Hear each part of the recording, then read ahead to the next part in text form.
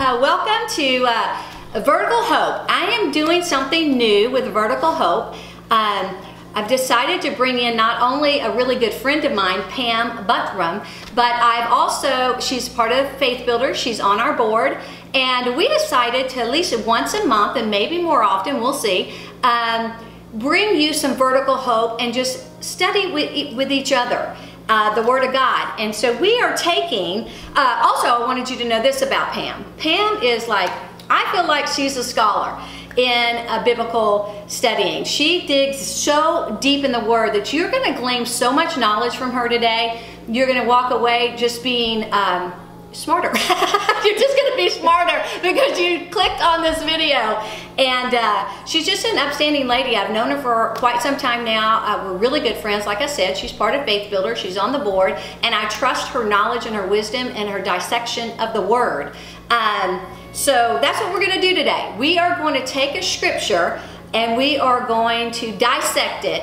Um, and we're to be talking about Ephesians 6.10, I believe through 23, right Pam? Yeah. Okay. And uh, then uh, we're going to take the darts, the fiery darts that the enemy shoots at us. We're going to take each five of them and we're going to break them down, either monthly or bi-weekly. We'll see how this goes. Um, and they are the five darts that we're going to be studying that the enemy shoots at you to try to uh, stop you from doing the will of God in your life or discourage you. And the five darts are this doubt, delay, defeat, discouragement, and diversion. So today we're going to start with doubt. So Pam's going to introduce uh, Ephesians for us today. Thank you, Michele. I appreciate that so much. Um, scholar. Well, I don't know about that, but I do think God has given me a grace to really hunger for His Word, and I just devour it and love it. And so I'm just going to share with you a little bit about Ephesians. And um, I also just want to address the viewers and just know that, you know, during the COVID and even before COVID, we were all in a struggle and in a battle. With COVID, it's just made it a lot harder. And um, a lot of us feel isolated, we feel alone, we're not able to gather with our support or our churches or friends. And um, so I just want to encourage you today and hope to give you some hope and uh, also some instructions and some things that you could do during this time. I know that COVID has affected a lot of people financially, relationally, and um, God just wants you to know you're not alone. And you're not watching this video by accident. This is a word God wants to give to you. He wants to deposit some hope and encouragement in you today.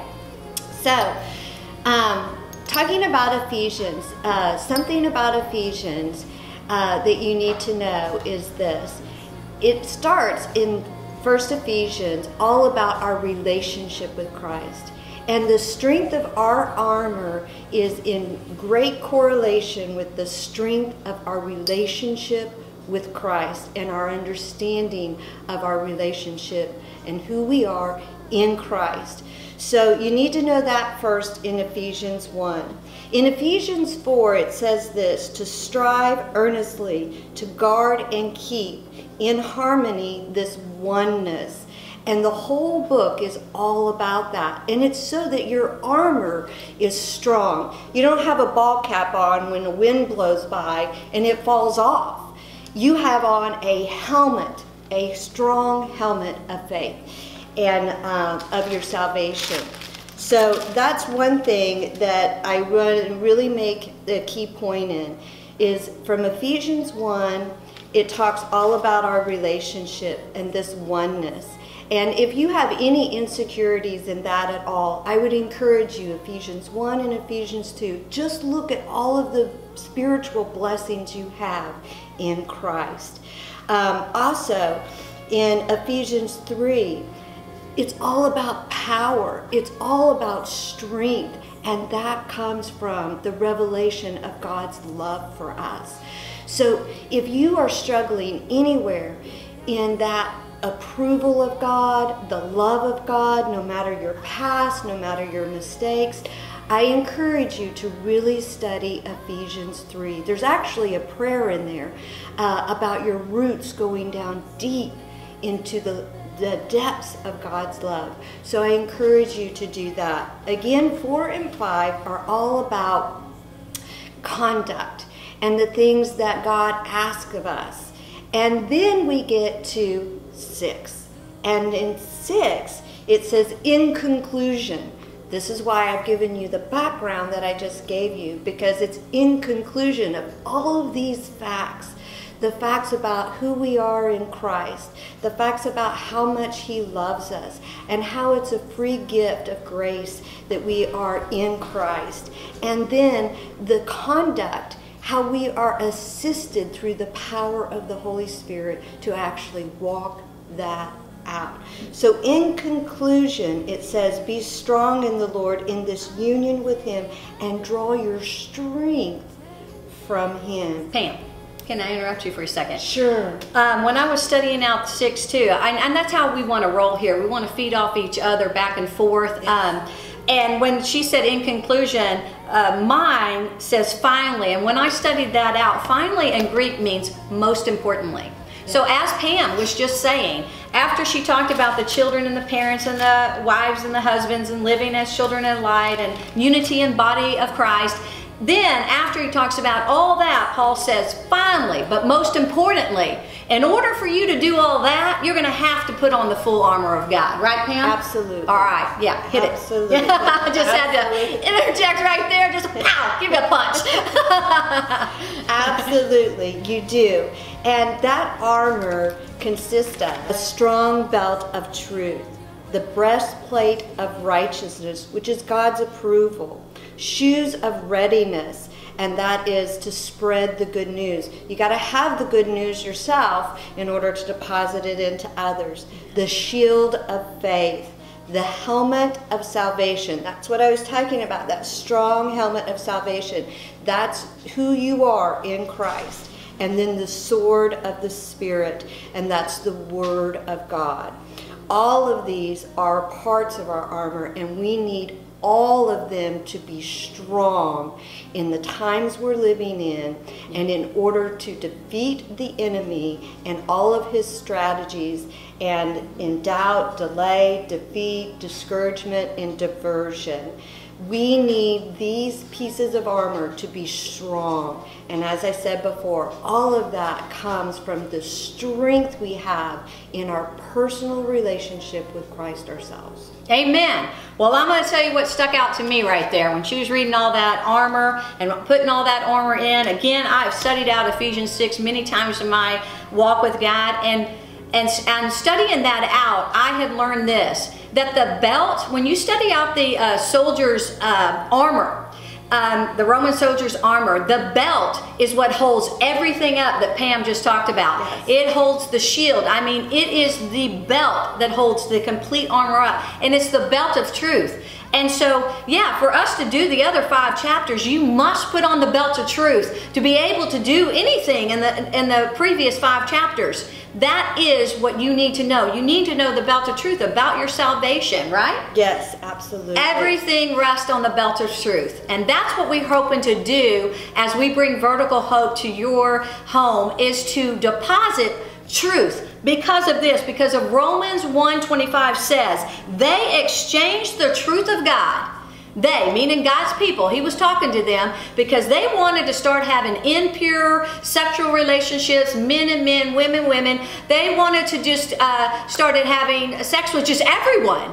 And this is what, this is what, uh, I mean, you know what, anybody says the Bible's boring, you're, you're boring because this is a fact. The Bible's not boring. We're talking about orgies here, and, and people want to step out on their spouses. I mean, that's some pretty hot and heavy stuff. But this is what the Lord says in Romans 1.25. He said, they exchanged the truth of God for a lie and worshiped and served created things rather than the Creator who is praised forever.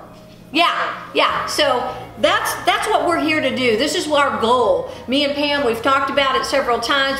Uh, when she used to own her shop, man, I'd go in there to be antiquing. I, I mean, I, I walked out there was antiques, but it would be like two hours later because we'd have a full blown gospel worship service talking about the Lord. Yes. And that's what we want these vertical hopes to be. It's just two friends discussing scriptures, departing hope into your life, and bringing truth to your doorstep. Um, you know, and we're human. So, you know, some we may mess up, we may interpret the scriptures uh, wrong, but let me tell you this, and let me encourage you this. Don't just listen to us and hear what we're saying, but you dig for truth too. And that's another purpose of these videos is to inspire you and to encourage you to dig deeper into your own Bible and read the word for yourself and let God reveal his truth to you personally. That's that's one of our goals, right? Absolutely. Yeah. Absolutely. The one thing about me is I do, I'll serve you a plate, but it's not little pieces. I'm going to give you a steak to chew. on. Yeah, she does. She does. she does. And, and really, she it doesn't matter if you're just got saved yesterday. I mean, she'll serve you a full blown steak, whether you got saved 24 hours ago or 24 years ago. And uh, and it's up to you to cut off those little small pieces and take bites because she's gonna give you the whole thing. Yes, That's what I love about her. Absolutely. In Romans 2:12 it says um, to be renewed in our mind. And the way that happens is through this belt of truth. Right. And that truth can only be found here in the Word of God.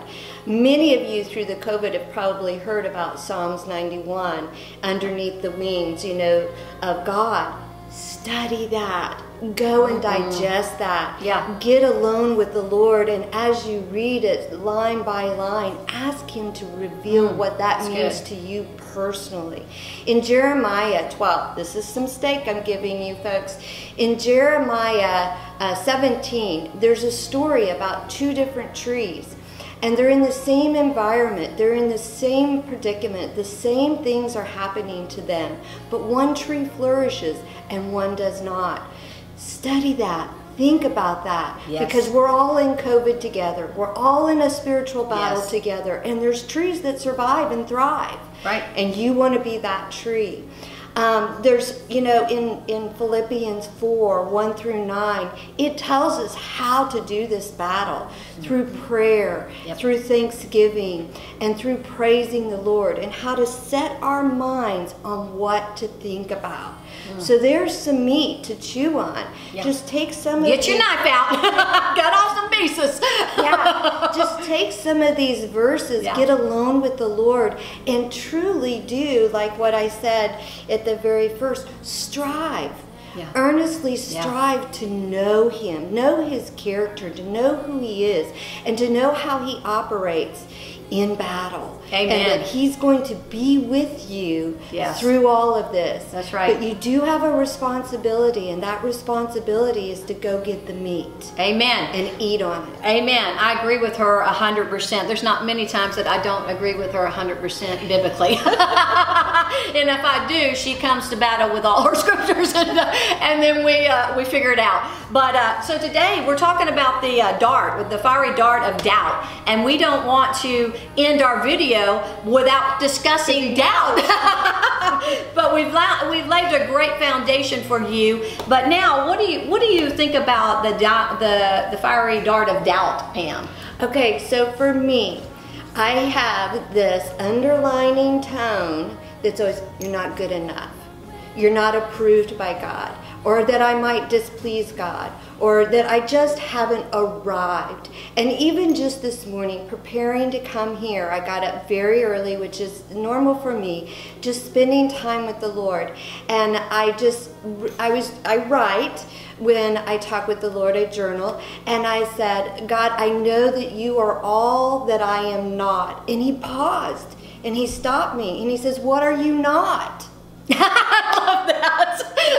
and I had to listen to his voice because in Romans 8 it says that, you know, therefore there is no condemnation. Right. So he even corrected me this morning in my mindset to think that there's something in me that's in lack or something that's not. You know, in Psalms 23 it says, The Lord is my shepherd, I shall not want. So I'm not in lack because he lives and dwells within me.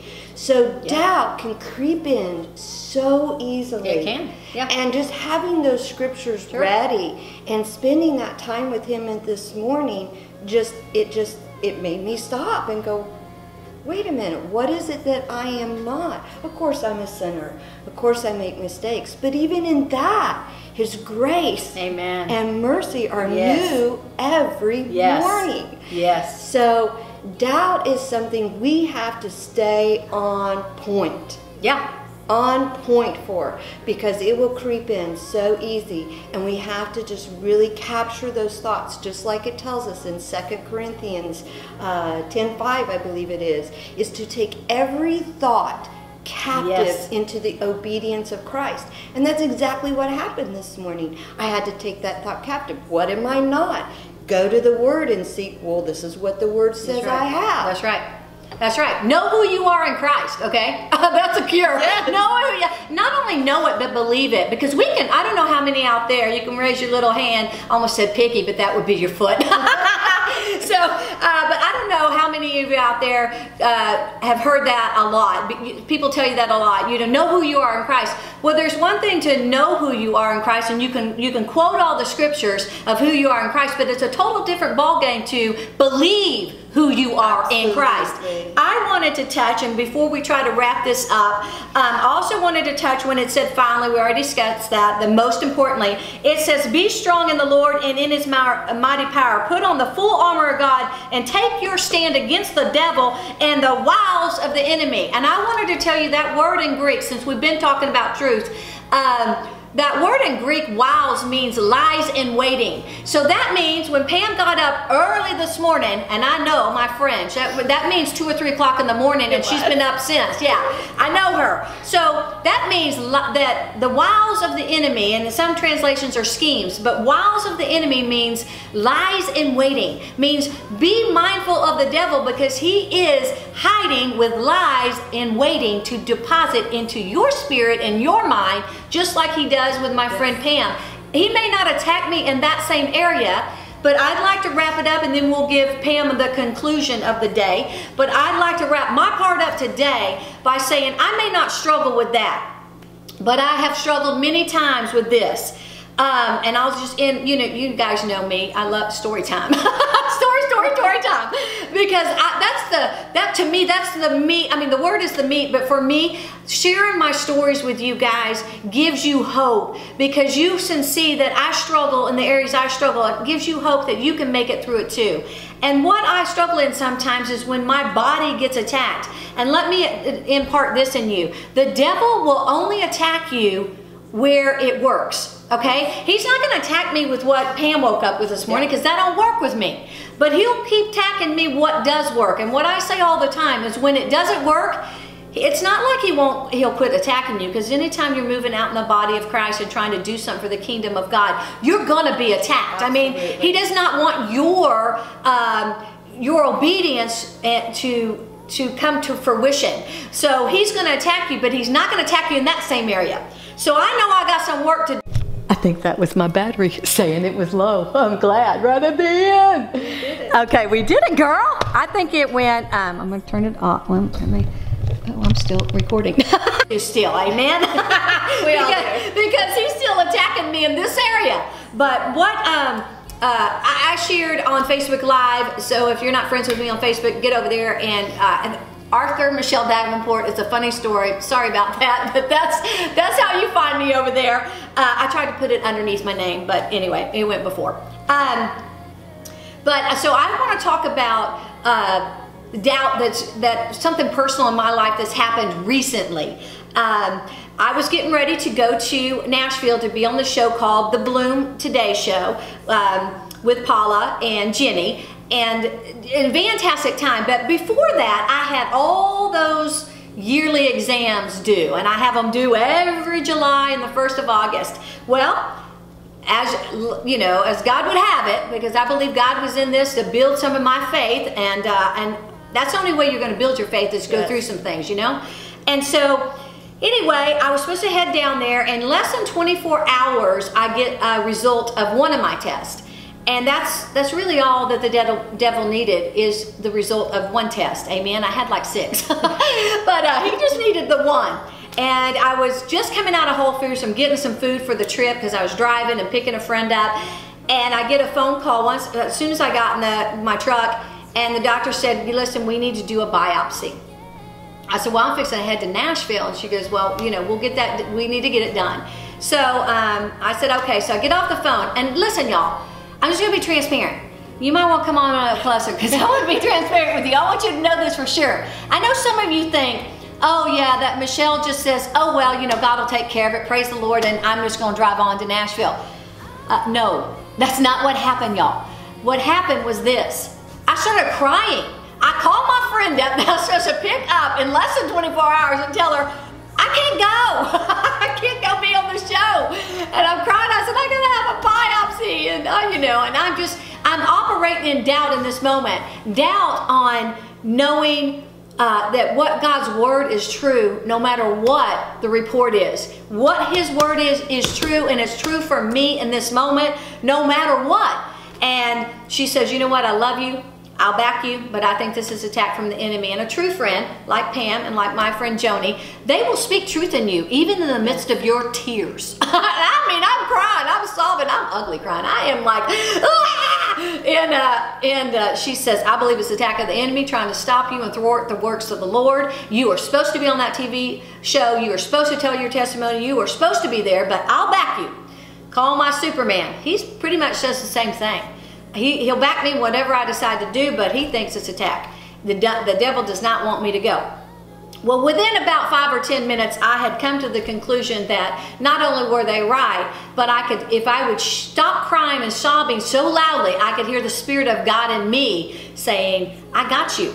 I got you, girl. You go. I've, I've already, this was three years in the making to be on this show. I got you. So I called him up. I said, I'm going, I'm going, I'm going. But in that moment, y'all, I had doubts. That fiery dart hit me straight between the eyes. It made me cry.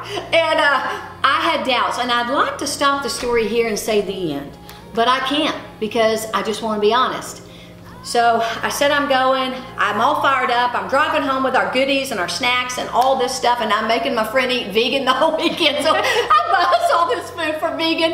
And uh, and anyway, and I'm going, right? So the next morning I get up and I text my husband, I can't do this. I don't know if I can go. And again, he said, I'll back you.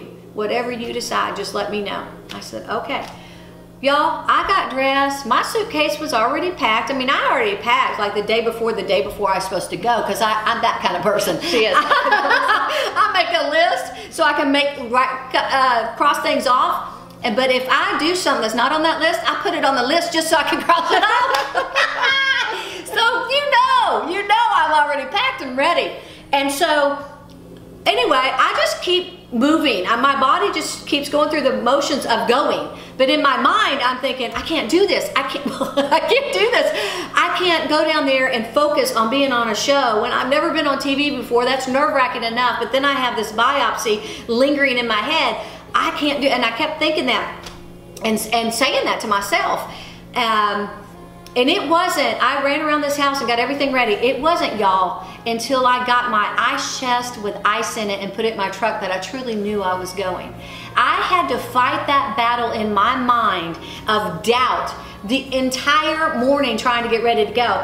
I fought it so hard that I was on the road for an hour and a half and my Superman called and said, well, what'd you decide? I said, well, I'm already, I'm already on my fourth of the way there. Um, so that dart is, uh, I guess what I'm trying to say is nobody is immune to the dart of doubt. And whether it hits you like it hits Pam or whether it came on me like it did me, um, nobody's immune to it. But let me end it with a praise and I'm going to let Pam uh, just walk us on out of this today. But uh, here's the praise. I came back you're not going to think, I don't have time to go into all of it. Maybe when we hit delay. well, that dark, but I told Pam, let's keep it short. I'm the talky one. but anyway, I need to leave you with a praise. It's vertical hope, man. Yep. Okay, so this is the thing. I, I came back and, you know, I don't know how long later, but it was a Tuesday night. I came down uh, sick and I was supposed to have my biopsy on that Friday. End up finding out I had COVID. My body fought hard. It was terrible. My friend Pam, she's y'all heard me talk about her and, and praise, praise her friendship that she brought us fresh fruit and uh, vegetables from Whole Foods, uh, organic, because she just knows me that well. and uh, anyway, came down with COVID, had to cancel that biopsy. And I don't know about y'all, but when you have something like that, a biopsy waiting in the in the hallway that you know you need that's it, it's in your mind and it's hard enough to wait a week or two weeks but it ended up being a month before i could almost a month before i could have that biopsy done. And i don't know if it, this is you but that's a lot of room for doubt. That's a lot of room. But i heard the lord say this on tuesday night when i started feeling bad. He said it's not what it appears to be. It's not what appeared and i heard it over and over and over and over into the next day. And it was wednesday which was the, one of the worst days of the COVID for me. Not the worst, but one of them. And uh, Thursday we went to go get our test done, ended up popping positive, and I thought, Lord, you said it was not what it was, what it appeared to be, and I was a little confused. But uh, he straightened this out pretty quick for me. Two weeks later, we got we popped negative for it. Went through all that. Praise God, He brought us through it. And um, yeah, it was it, yeah, for it was horrific for me. My my Superman did pretty good, but my body took a beating. Uh, but anyway, I finally was able to go that biopsy, y'all. And my husband and I were praying this. Now, even though I was being shot between the eyes with the fiery dart of doubt, um, I still was uh, quoting the word and we're still believing God that he, that he is who he says he is. And a lot of time that's when doubt comes in is because you don't believe he is who he says he is. And uh, I do believe that he is my healer. He has we haven't got time for all the healing stories I've got for you. Maybe over the next year we will. Um, but anyway, so I went there to have my biopsy and we were praying, me and my husband, that when they go in, they won't find anything to biopsy. Sure enough, I went in uh, and she says, okay, we're all done. And I said, oh, okay. And she goes, you know, Michele, there's nothing there. There's nothing there for me to biopsy. You look great. Praise the Lord. So you know what? There's victory after you've been shot between the eyes with doubt. You just keep on walking on that word. All right, we're going to let Pam wrap this thing up. All right. Well, in closing, God is no respecter of persons. right. You need to know that. What he's done for Michele, yes. what he's done for me, yes. he is doing and yes. will do yes. for you. Yes. And I just I just invite you to get into the word and I encourage you to actually strive guard and keep studying the Word of God. Mm-hmm. Ask Him to expand your understanding of His yes. Word and to expand your heart to receive His love. Like I said, you are not here by accident.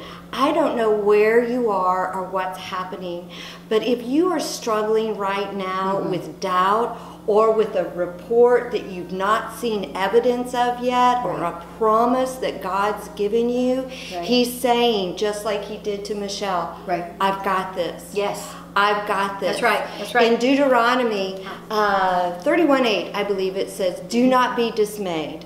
Do yeah. not be dismayed. Don't be looking around at things around you. Just look into the Word That's and right. stand on His promises. That's right. And guard it. Guard it yes. with all of your might. Yes. Yes. Guard it because that is what's going to sustain That's you. right. I also encourage you get some friends like she talked about, Mm-hmm. some people who will stand with you in prayer. Mm-hmm. Um, I know right now it's difficult and it's hard. Get creative.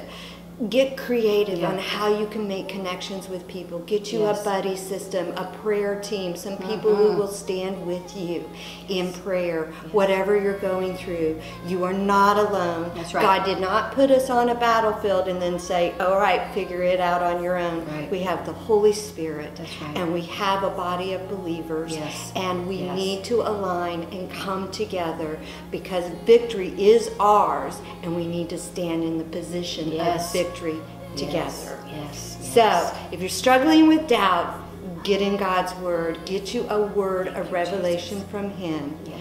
and you hang on because He will fulfill it. Amen. Lord Jesus, I just thank you for this day. I thank you for my friend Pam. I thank you for this word that you deposited in our hearts to deposit into their hearts. Lord, I thank you that they walk away and they're filled with vertical hope. Vertical meaning looking up because that's where our true hope comes from. Lord, I thank you for giving us this scriptures, giving us this word, and giving us this audience to speak to.